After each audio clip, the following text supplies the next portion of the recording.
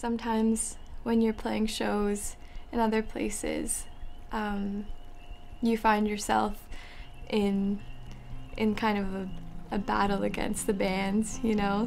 But up here, everyone is just very, very excited about each other's art, and it's a beautiful thing to be a part of. People come, people go, but our stories never end. Young girl, um, I fell in love with the piano. That was my first instrument, and then eventually I got into musical theater and things. And then I picked up a guitar, and that was my my instrument from then on. And I really loved the guitar, and then started writing music. And then from there, it just became what I want to do with my life. So, yeah. There's something very grounding about being in North Bay, especially because my music is very much inspired by landscape.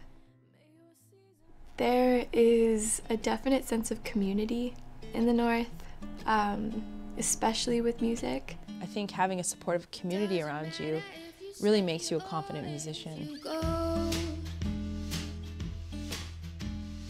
I actually really love North Bay a lot, and I'm originally from Hamilton. Um, and I think I didn't plan to stay here after I finished school.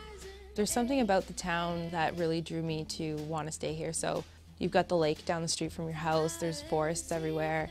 The small size is actually to me kind of a good thing. I think, especially being a musician, the community is very closely knit and before I started playing music in North Bay, I had not had sort of like found that group of musicians that I could collaborate with until I got here.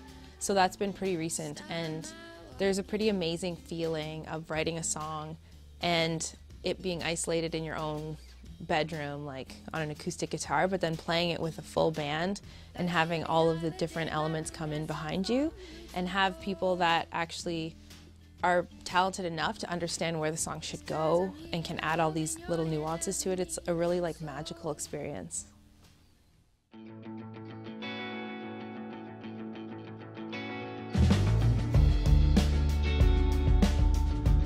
The northern music scene, uh, especially here in North Bay, is just a, a big group of friends um, that uh, you know all support each other and help each other out. It's nice to to get into that community because you feel like it's a it's a really small sort of rare thing that's a nice thing to be a part of. Big part of uh, our songwriting is you know the world around us and and uh, and just living in the north and it gets terribly cold and awful in the winter and being hunkered down in your house for six months out of the year during winter is always uh, is always good for um, songwriting and coming up with new ideas and things and uh, that's why we stick around I suppose. Touring is definitely a, a, big perk. It's it's nice to travel around and stuff and get to do it. We've done a little bit like outside of of northern Ontario anyways. We've done Ontario and a little bit of Quebec and stuff like that and it's also really nice to sort of come back and um, you know play a show for the people that have been loyal to you, that have been following you since like since conception. I think if I was to leave Northern Ontario, I would miss the small, tight knit music community, but also just the community in general. Memories, probably good memories. Lots of friends here. There's a lot of support for what you're doing. Lots of beautiful people here.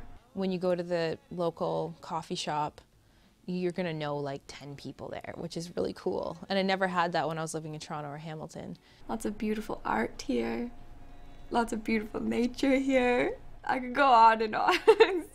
I know I'll be back here. It's just a matter of a matter of time.